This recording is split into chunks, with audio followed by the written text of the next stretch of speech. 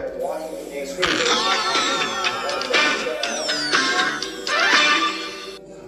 To do something.